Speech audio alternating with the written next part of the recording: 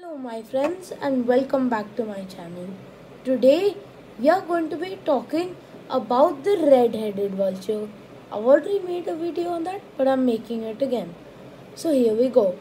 The red-headed vulture is a medium-sized vulture uh, that is compared to other vultures. They're quite gigantic actually.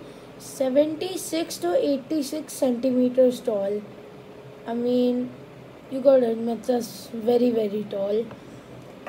For other birds but not vultures okay moving on. They have quite a big wingspan 6.5 to 8.5 feet. They have prominent naked red heads which means they have no hair whatsoever or feathers or fur or whatever. It's completely red and naked. Uh, yeah and they have lappets around the sides of their necks, which is basically overhanging patches of skin, hence its name. These are mostly used for intimidation and heat exchange for their body.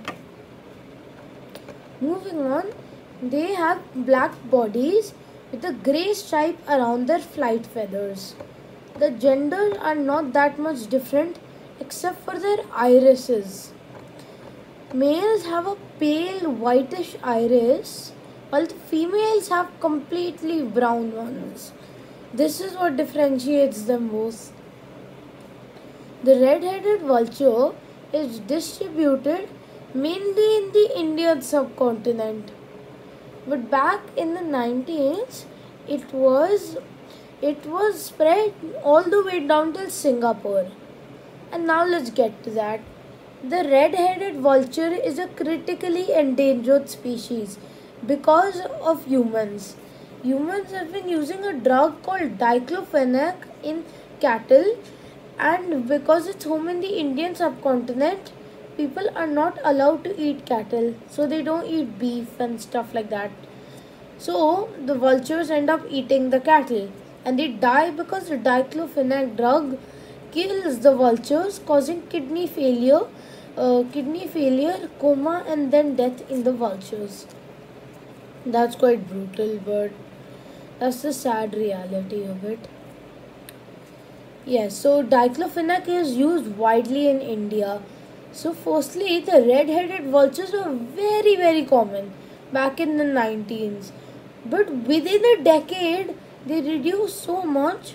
First, they reduced slowly going to vulnerable and but then when the increase of diclofenac happened it dropped drastically and till today it is on critically endangered on the IUCN red list of endangered species.